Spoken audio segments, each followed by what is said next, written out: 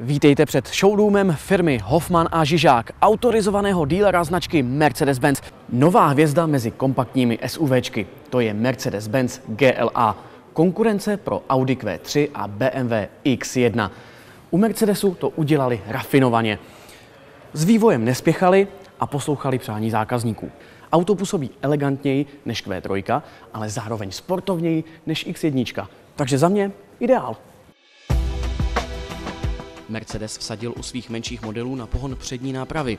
GLA ale bude samozřejmě nabízet i pohon všech kol Firmatic, takže lehčího terénu se bát nemusíte. Pro zájemce o diesel je k dispozici motor ve dvou výkonových variantách. S označením 200 CDI má 100 kW a 220 CDI pak nabídne slušných 125 kW, tedy 170 koní. Pro ty, kterým spíš voní benzín, má Mercedes dva čtyřválce, verzi GLA 200 naladěnou na 115 kW nebo model GLA 250 o výkonu 155 kW, což je 210 koní. Pro milovníky sportovní jízdy je pak určená speciálně odladěná 360 koňová verze GLA 45 AMG. Další motorizace ale brzo přibydou.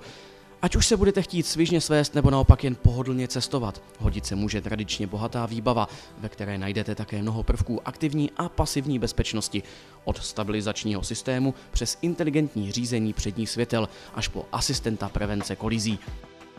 Interiér, stejně jako celé auto, působí luxusně a sportovně zároveň. I přes kompaktní vnější rozměry GLAčka je prostoru pro posádku víc než dost. Díky variabilnímu prostoru můžete kromě rodiny nebo svých známých převést řadu sportovního vybavení nebo nákladu.